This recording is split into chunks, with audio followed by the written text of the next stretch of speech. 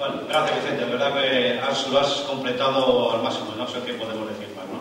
Bueno, mm, gracias a todos los que habéis venido, amigos, compañeros, simpatizantes de UPyD. Y una vez eh, más debemos acogernos a nuestros postulados eh, transversales, los que transmite Unión Progreso y Democracia.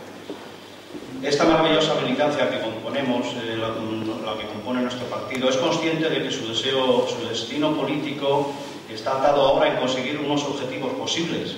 Uno de ellos, quizás el más importante, el más importante, el de regenerar nuestra democracia.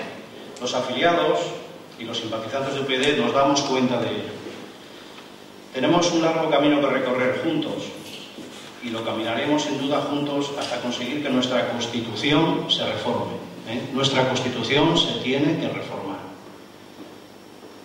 Que nuestra educación sea de verdad una buena educación. Que la justicia no tenga 17 administraciones y que sea una para todos. Que la sanidad sea, una de, sea de competencia estatal. Que los impuestos no sean moneda de cambio para las comunidades autónomas. El próximo día 22 desde nuestro ayuntamiento, desde nuestra comunidad autónoma, vamos a poder poner en marcha estos objetivos. Dicho esto, me alegro informaros que nuestro mensaje, el mensaje de Unión, Progreso y Democracia, está calando en toda la ciudadanía, eh, toda la ciudadanía, todos los vecinos. Lo estamos comprobando día a día, hora a hora, que recorremos las calles y los barrios de Alcorcón en esta campaña electoral que estamos haciendo. Podemos estar muy orgullosos del excelente trabajo que estamos realizando. Por lo nuestro, lo nuestro es trabajar para darles a los ciudadanos un instrumento para cambiar la política y formar y la forma de hacer política. Lo nuestro es favorecer a millones de ciudadanos que se sienten hartos de la política, se reconcilien con ella y vuelvan a comprometerse con la democracia. Lo nuestro es hacer propuestas, romper tabúes, escuchar a la gente, debatir con los ciudadanos, dar argumentos, hacer propuestas positivas, no resignarnos y pensar con ambición en el futuro de nuestro país, de nuestra región, de nuestro municipio.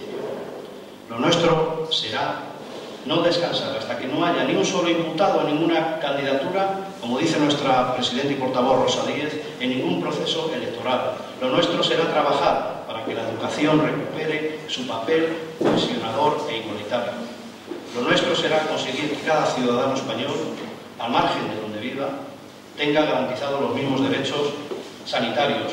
Lo nuestro será trabajar para que los jóvenes investigadores no tengan que irse de España para desarrollar su conocimiento. Lo nuestro será que los padres puedan elegir la lengua en que educan a sus hijos. Lo nuestro va a ser que los órganos de dirección de las cajas de ahorro dejen de estar ocupadas por personas nombradas por los partidos políticos lo nuestro va a ser que la justicia sea independiente y desaparezcan las cuotas de poder, que las cuotas de poder en sus órganos de gobierno y en el Tribunal Constitucional, y, lo, y esto último ya lo sabéis, lo del caso Bildu, vergonzoso, vergonzoso, que de los 12, 12 jueces que integran el Constitucional, 10 y esto está registrado en la Constitución, está legalmente, pero es una, es una cosa decía anteriormente, que esta Constitución la tenemos, hay que reformarla porque está mal. No puede ser que de los 12 eh, jueces que integran el Constitucional, 10 sean elegidos por los partidos políticos, cuatro Senado, cuatro con el Parlamento y dos el Gobierno. Los otros dos solamente por el Consejo General del Poder, del poder Judicial. Así ocurre lo que ha ocurrido ahora con el virus. ¿eh? Vergonzoso. Lo nuestro va a ser acabar con el despilfarro y las duplicidades del conjunto de las instituciones públicas. Lo nuestro, en fin, va a ser redactar una efectiva reforma laboral que prime el, contrato indefinido y que imposibilite que las empresas con beneficios hagan ERES, mientras que dan bonos, bonus millonarios a directivos que los han puesto en apuros. Lo nuestro es lo que la gente, a la gente le importa. Estamos aquí porque creemos que somos necesarios que alguien tiene que defender esas cosas, que alguien tiene que plantear estos debates. Estamos aquí porque hemos decidido no, eh, relegar a nuestras responsabilidades como ciudadanos. Estamos aquí porque queremos incorporar a muchos ciudadanos a los que el país necesita para regenerar la democracia y para darles un horizonte a nuestros hijos. Esto es lo único que nos importa, que nos debe importar. De lo único que no podemos mm, de, lo único que nos podemos responsabilizar es de hacer bien nuestro trabajo. Y vaya que se hace.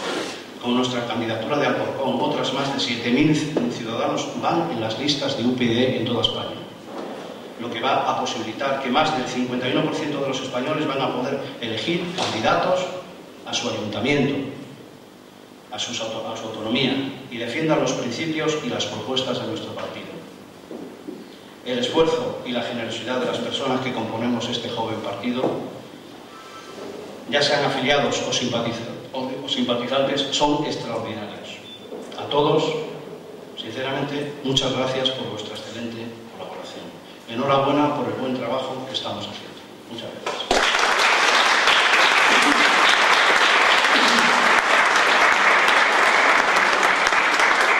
Y doy paso a otro compañero, a Miguel Rodríguez.